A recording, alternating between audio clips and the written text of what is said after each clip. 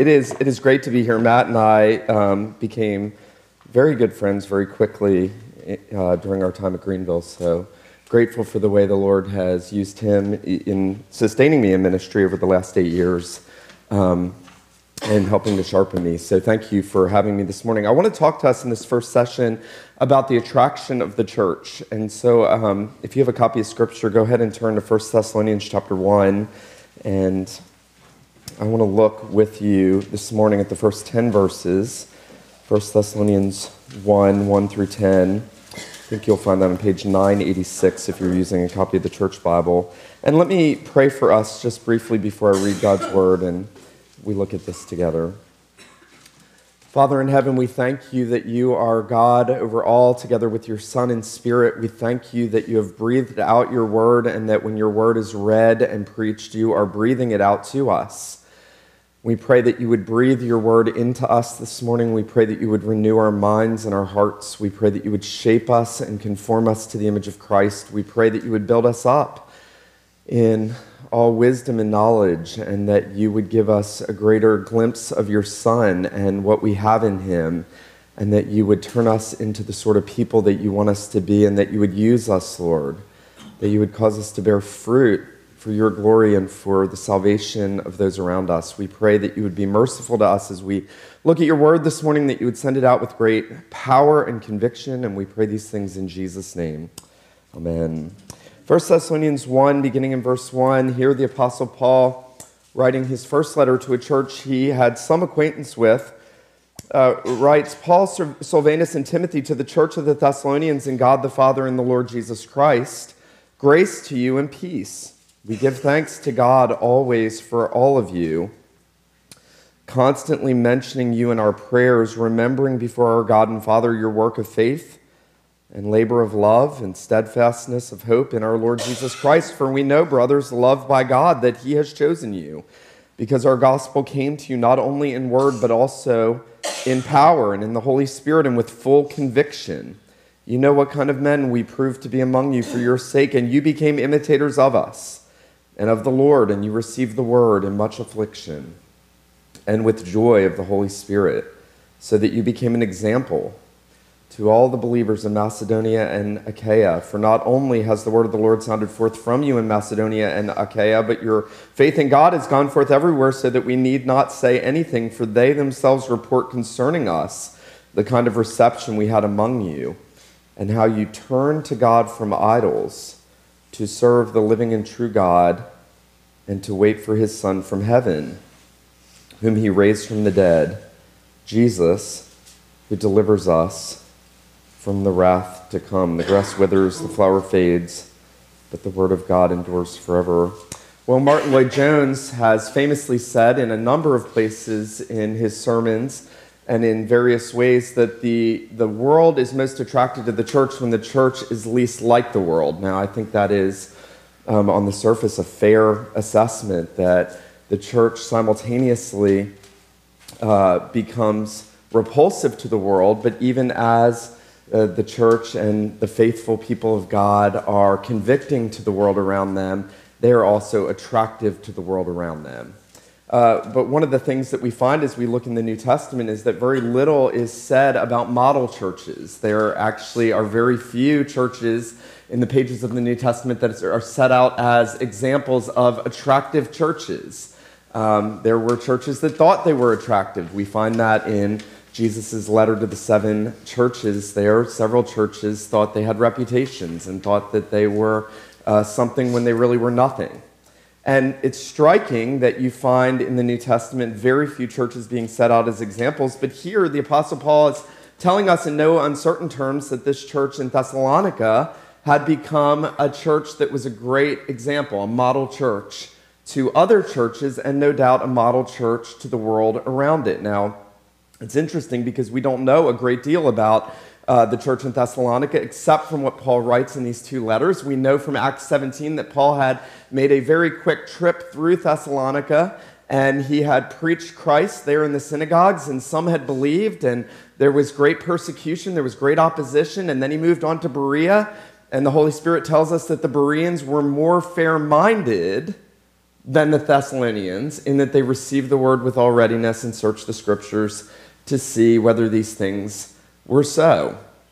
And yet, the Bereans do not get two letters in the New Testament, the church in Thessalonica does.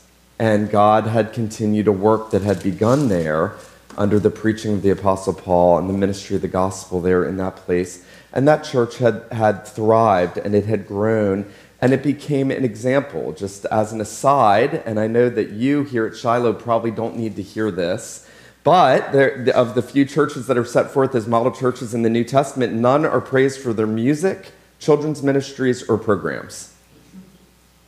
That's an important and interesting and obvious uh, insight. And yet, here the Apostle Paul is setting out the, the, the model church, an attractive church. He is saying, here is what the church should look like if it is an attractive church. What does a church that is attractive to the world look like? And the apostle tells us here in several ways. He gives us the marks of an attractional church, first and foremost, and then he tells us about the source of an attractive church that is an example both to other churches and to the world around us. We'll notice as he sets out these marks, the very first thing, and Paul will constantly bring this to bear throughout this letter, especially in chapter 1 and 2, is that it's a church that received uh, powerful ministry of the word. Notice the apostle tells them in verse 4 We know you, brothers, loved by God. He has chosen you because our gospel came to you, not only in word, but also in power and in the Holy Spirit and with full conviction. Now, it has become trendy in churches for uh, people to say, we don't want our church to become a preaching post. And I understand what people mean when they say that, but I find that the scriptures never say that. And in fact, the scriptures tell us that the church is born out of the powerful preaching of the word by men that God has laid his hand upon to preach the gospel to the people to whom he's sending them. And while I understand that the sentiment involved uh, among those that say we don't want our church to become a preaching post is that they want the people of God to be using their gifts and to be serving one another and to be um, fulfilling those things that the apostle teaches in, in Romans 12 and 1 Corinthians 12 through 14. And that is very noble and good. We do want our churches to be preaching posts. We want a healthy church to have that indelible mark of powerful gospel preaching. I had a man at the very beginning of my time planting uh, the church that I planted say to me now, almost seven years ago, if you don't have a really great band, your ministry is going to die in the pulpit. I remember how angry I felt hearing that. That man is still with me today. I don't think he'd say that today. And we have seen God bless enormously without resources without all the luxuries and the programs that sometimes I wish we had, but we don't have. And yet, God has blessed the ministry of His Word. He has blessed the preaching of His Word. Lives are changed under the powerful preaching of the gospel. Here, the apostle tells us that one of the marks of a model church is that they had ministers. That Here, they had the great apostle. They had received Paul, and Paul had come to them uh, with, with the word of God and in the power of the Spirit and with full conviction. He, he wasn't peddling the word. He wasn't, he wasn't biding his time trying to sort of uh, make a career path for himself. The Apostle Paul came with a heart full of conviction, a man who had been changed by the gospel so powerfully, coming and proclaiming to the people that God was sending him the marvelous riches of Jesus Christ. And notice that the apostle will pick up on this theme in chapter 2, and he'll say that while they were shamefully treated in Philippi. He said, We had boldness in our, in our God to declare to you the gospel in the midst of much conflict. Paul was committed to bring that gospel, and as he was, and the people received them, notice that he says in verse 9 of chapter 1 for the other churches report concerning us the kind of reception that we had among you and how you turned to God from idols to serve the living and true God. You know, one of the things that I've noticed over the years is that oftentimes people in, in churches where the word is preached begin to grow tired of the preaching of the word. Um, it's one of those tragic um, aspects of life in this fallen world. Uh, it becomes mundane, Um, people can slide into a sort of I know this already mentality. Um, it's, it's, and I think the Reformed Church has a unique danger where we have some of the best preaching and some of the best teaching, and we begin to become like Israel. God said to Israel when they went into the land, um, the promised land, He said, When you go into the land that I give you, and you eat food you didn't labor for, and you live in houses that you didn't build, be careful not to forget the Lord your God. And then he says, When you go into the land that I'm giving you and you eat food for which you labor and you live in houses that you build, be careful not to forget the Lord your God. And here, uh, a model church being set out is a church that welcomed and joyfully received the Word of God. It's a church that, that responded to the powerful ministry of the, the, the Word of God. And so the apostle is telling us that a, a, healthy and attractive and model church is one in which the people receive God's Word and they adhere to the gospel. They are eager to receive it. Notice that he says in verse 5 Our gospel came to you not only in word, but also in power and in the Holy Spirit. And notice this he says, uh, he says that you receive the word, verse 6, in much affliction with joy in the Holy Spirit. Now, it is one thing to receive the word of God when it is popular for the word of God to go out and there's no cost and, and, and it's, it's an easy thing to do. And it's a much different thing when people receive the word of God in the midst of much affliction and trial and persecution and do so with joy and eagerness. There's, there's almost a sense where you get that Paul is trying to wed things together that don't seem to make sense. Here's a church, he says, that received the word not just with joy. Remember, Jesus said there are those who receive the word with joy and for a time seem to believe, but in times of persecution and trial, they fall away. They don't have a root. Here is a church that received the word with much joy in the midst of much affliction. And, and they are a people who adhered to the gospel. Um, you know, one of the most natural ways, and we all know this, for us to think about uh, God and the gospel and to help others think about God and the gospel is to see what that looks like in the lives of those who trust the Lord and respond to the gospel.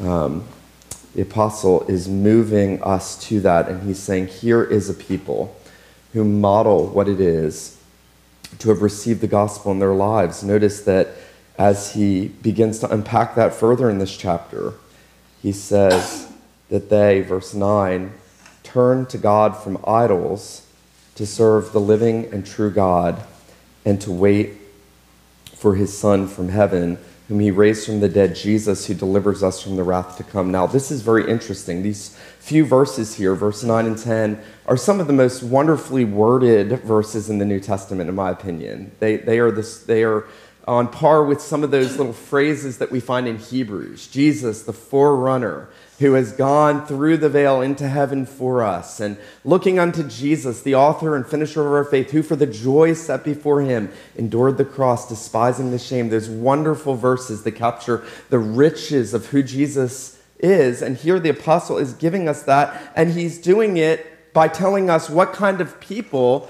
the men and women and boys and girls in the church in Thessalonica were. They were a people who had been, who had been covered in the darkness of idolatry. When he had come in there, they had been steeped in paganism and idolatry.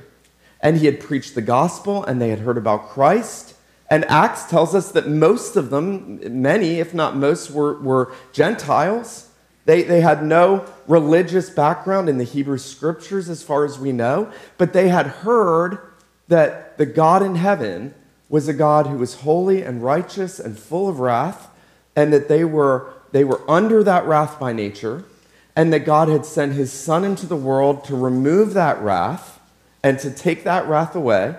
And they had heard that message and they had responded to that message and they had turned from the idolatry that they had been steeped in their entire lives to God to wait for Jesus to hope in the coming of the Redeemer who removed that wrath from them. And so, what Paul is saying is that a healthy church is a church that has that message not only proclaimed from the pulpit, but sincerely appropriated into the hearts and lives of the people. These people were living in light of those truths. Um, Sinclair Ferguson very helpfully says No church that is disconnected from a deep conviction about God's wrath has ever lasted very long as a model church. I think that is profoundly true. No church that is disconnected from a deep conviction about God's wrath has ever lasted very long as a model church. He goes on to say, Do you know that? It's the truth of the history of the church. No church has made a lasting impact upon its surrounding society without understanding that we are thankful to God supremely for this that our Lord Jesus Christ has borne God's wrath in order that we might experience his grace and forgiveness. These things go together little forgiven, little love, much saved, much love. Now, I think there's a word here for us that we so desperately need to hear. That if we are going to have an impact on the society around us, if we are going to be the kind of church that Jesus wants us to be, if Shiloh Presbyterian is going to be the kind of church that Jesus wants it to be here in this place at this time, it has got to be a church that holds fast to these things, that loves these things, that appropriates these things into the lives of its members, and that is known for those things. Isn't it interesting? This is what Paul says you're known for. This is the example. Interestingly, this church was not a perfect church. This church, he will later actually correct doctrinal issues that they had concerning the resurrection, and a church that also had issues concerning Christian living. This church was far from a perfect church, but this was a church that was a model church because the lives of the people had been changed by the gospel so powerfully and that they held so firmly to these truths that Paul says, Look, everyone knows what kind of church you are. Everyone knows what's happened to you. Everyone knows about the work of God in your lives in rescuing you and delivering you through Christ from the wrath to come. You know, one of the things that um, exhausts you if you spend any time on the internet is reading uh, how much of what people say should be central in your church. And it, it is ad nauseum. And, and it's very easy, actually, to fall subtly into the trap of thinking, well, maybe we do need this and this and this and this and this and this and this and this. And here I think the apostle is, is scraping away all the other things that cloud out the central thing about an attractive and exemplaristic church. And he's saying, here's the thing God, who is infinitely holy and is going to pour out his wrath for all eternity, put that wrath on his son for you and me, and has removed that judgment so that there's no more fear of wrath if you're in Christ Jesus. There's no condemnation for those in Christ Jesus. And if you are hoping in Christ, if you're waiting for Christ, that that is everything. It's everything in the Christian life. Um, there's a well known story about how churches lose this.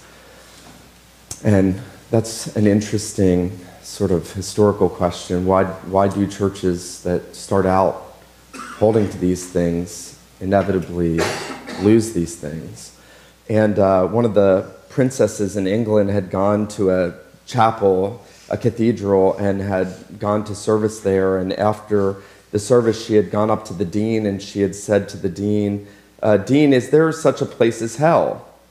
And the dean responded by saying something along the lines of, uh, well, the Bible says so. Christians have always believed so, and the Church of England has always uh, confessed that there is. And she said to him, Then why in God's name do you never tell us about it? And I think there is a subtle temptation when we're thinking about how to have an impact in the culture around us to forget that the greatest thing that we have to be a model church is that our lives have been changed by the gospel because we believe by nature we are under the wrath of God and that Jesus has removed that and that that is everything and that Christ is everything and that we are hoping in the Jesus who was raised from the dead who will deliver us from the wrath to come and that that's what changes lives. That's what that's what rescues people.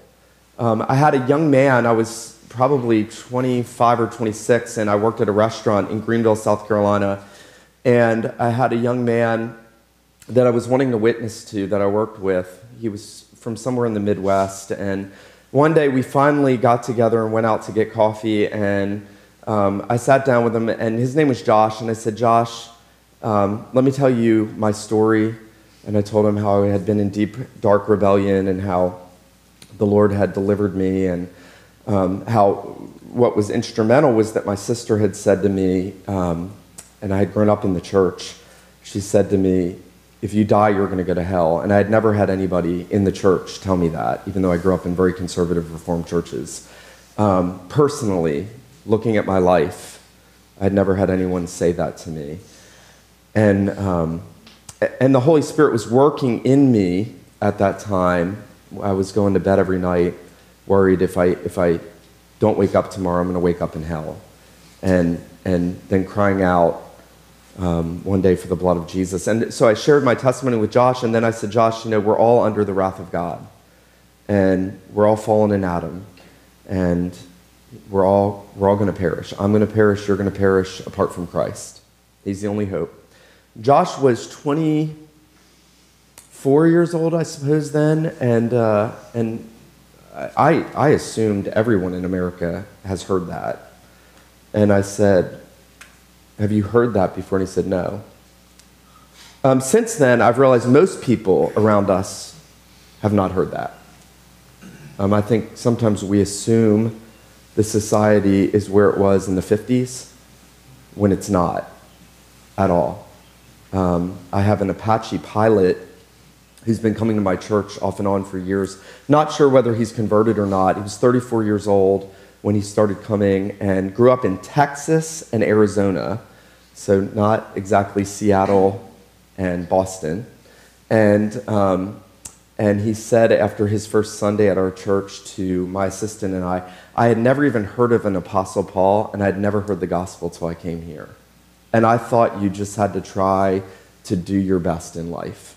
34 years old.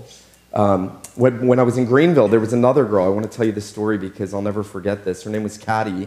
She was 34 years old. She had grown up in Greenville, South Carolina. That's the buckle of the Bible Belt.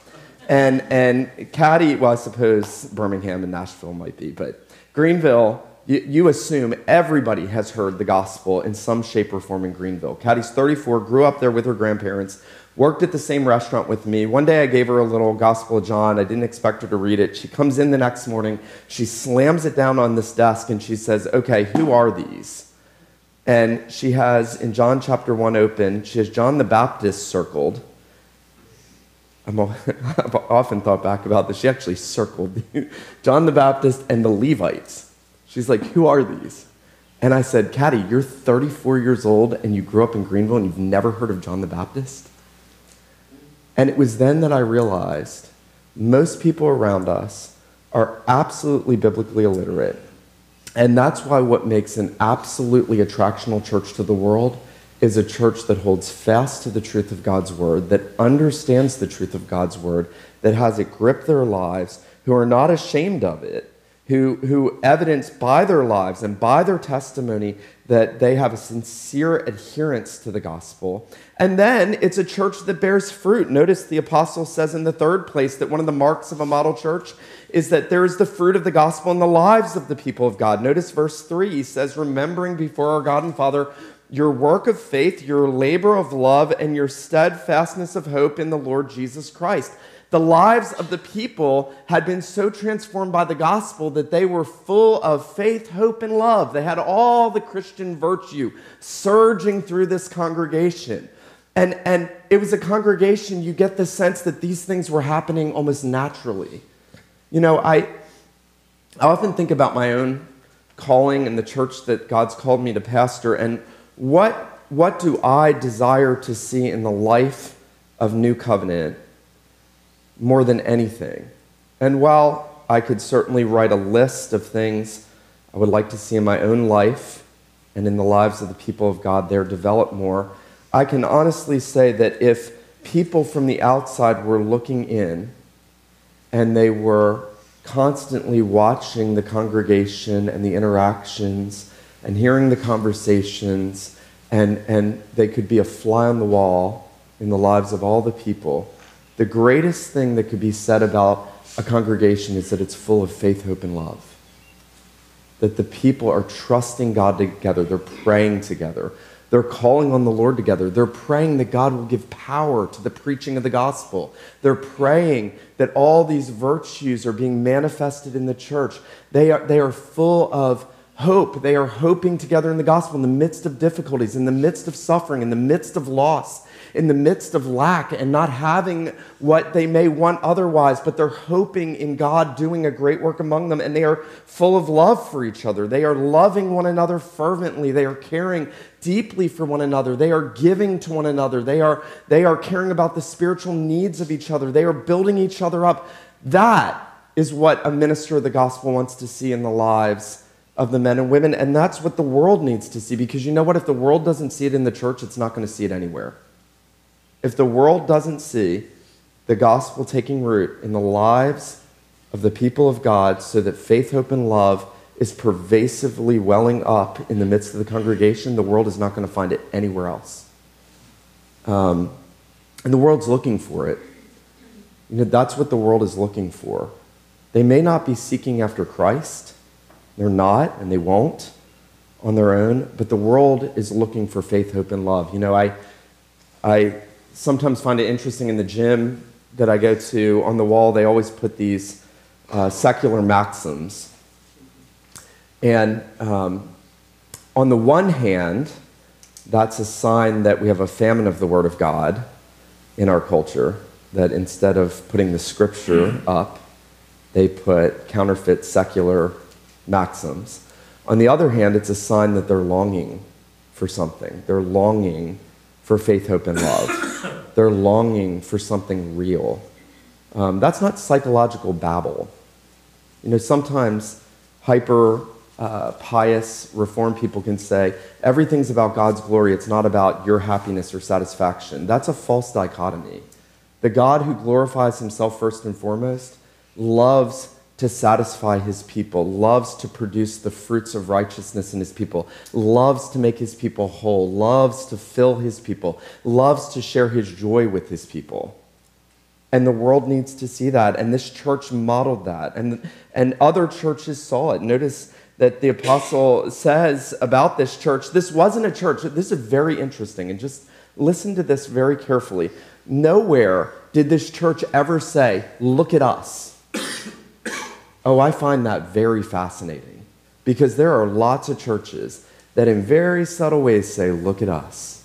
Look what we're doing. We're an example church. You find that again in Revelation 2 and 3. There are churches that Jesus says to them, You think you have a name and you, you think you're alive, but you're dead. And here's a church that the apostle's coming to, and what he's saying is, You don't need to tell anyone about what's going on inside your church because it's evident to everybody. That, that the church in Thessalonica didn't need to say, hey, everybody, look at us. Everyone else was saying, look at them. Look at that church. Look at how marvelous the work of God's grace is in the people. Their lives have been changed. They came from complete paganism. They're serving the living and true God. Faith, hope, and love are welling up in the midst of that congregation. Look at the work that God has done. There's something so organic, there's something so natural, there is something so beautiful and alive in this congregation that they became an example to the other churches. Think of that. This was the church that got overshadowed by the Bereans in Acts 17. Nothing spectacular about them in the book of Acts. And they become a model church. Now, that gives me great hope because that means as God's word continues to surge through the congregation, as the people of God continue receiving the gospel and appropriating it to their own hearts and lives, as the fruits of the gospel are born in the life of the church, and as that church then becomes an example to others, it doesn't matter what the past has been, it doesn't matter what the church lacks, it doesn't matter what the church has been.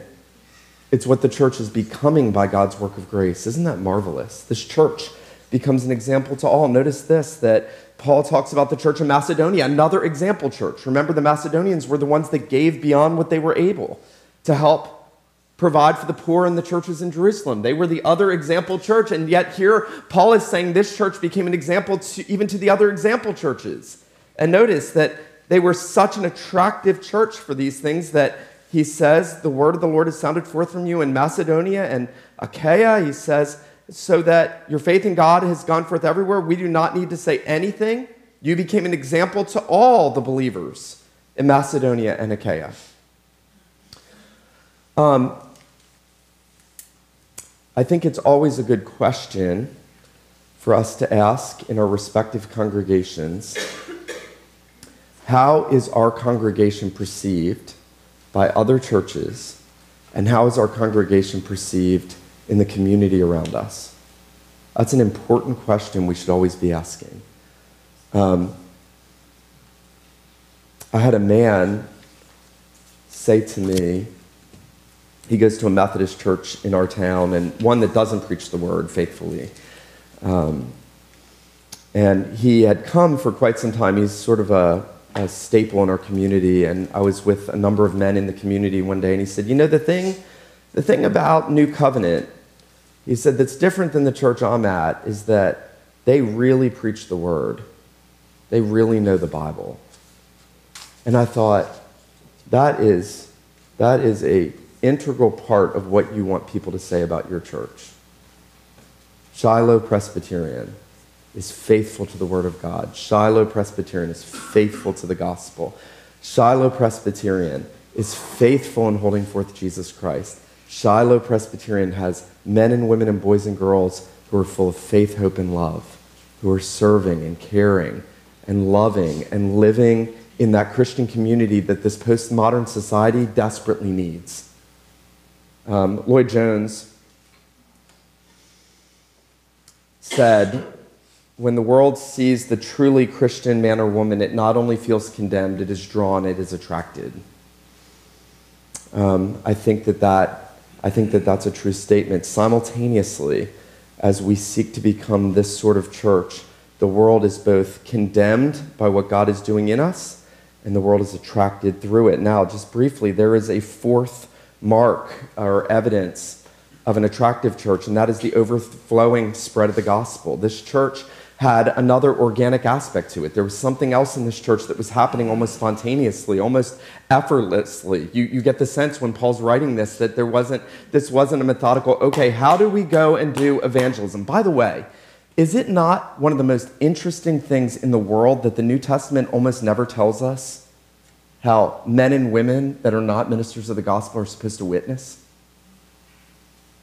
You know why? Because it tells us what a church is supposed to look like. One of the reasons why we have so many programmatic evangelistic ministries, I think, is because people are trying to compensate for what the New Testament doesn't give us, while sometimes glossing over what the New Testament does give us.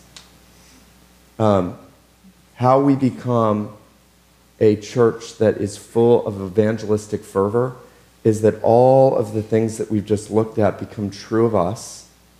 Our hearts are so gripped by the gospel that we almost effortlessly want to tell others.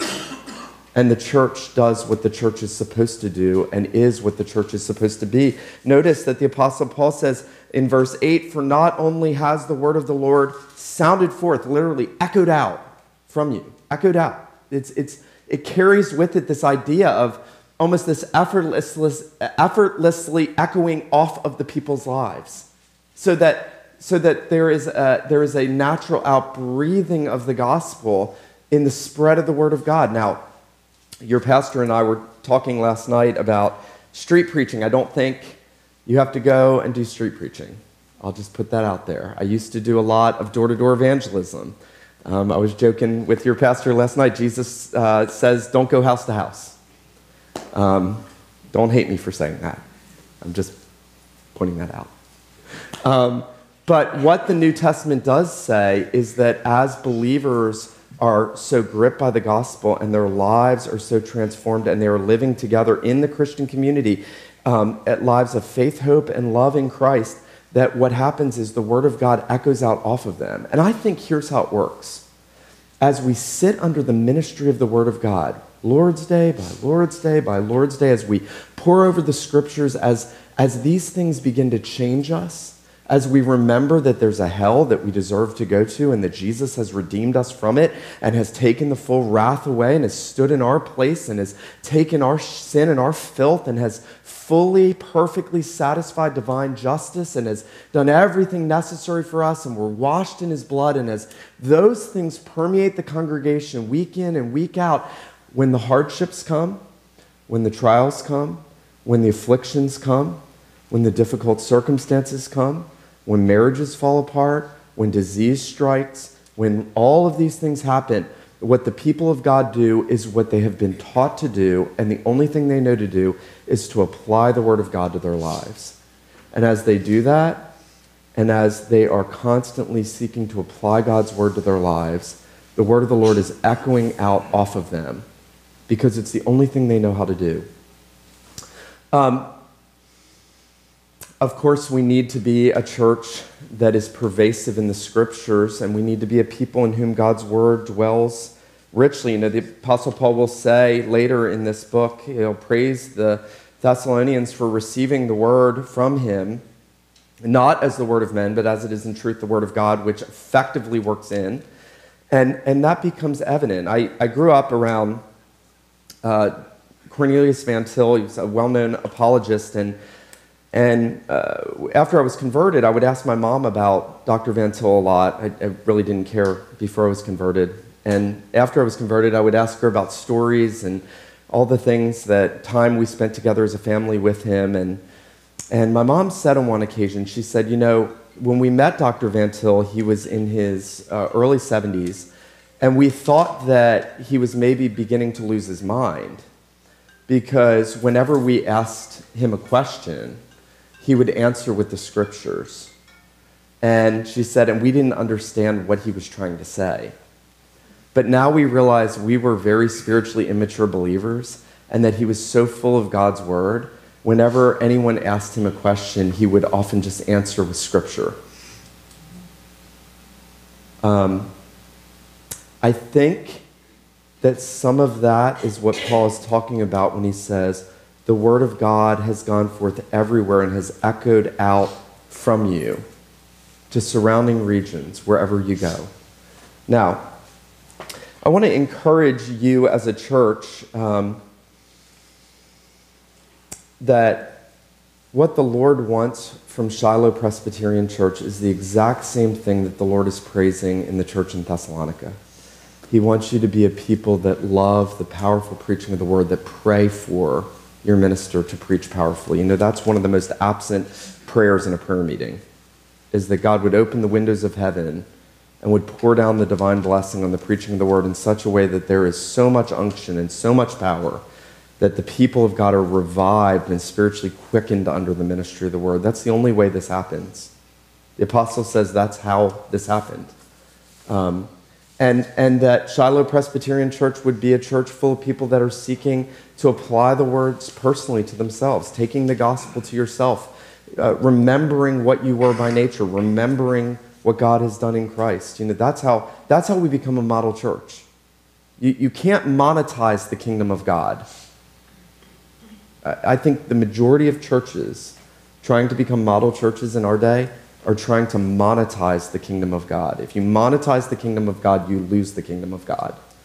But when God does a great work through the gospel in the souls of his people, and then Shiloh Presbyterian Church becomes known as a church full of people who have turned from idols to God to wait for Jesus from heaven and who are living out the gospel lives in, in their day in, day out uh, interactions with one another in faith, hope, and love, and the word is spreading out from this church, you will be a model church. You will be an attractive church. You will realize the attraction of the church, and you'll see people coming in. You know, I have been, I have been shocked at the sort of people that God has brought to us at New Covenant because we don't have a great band.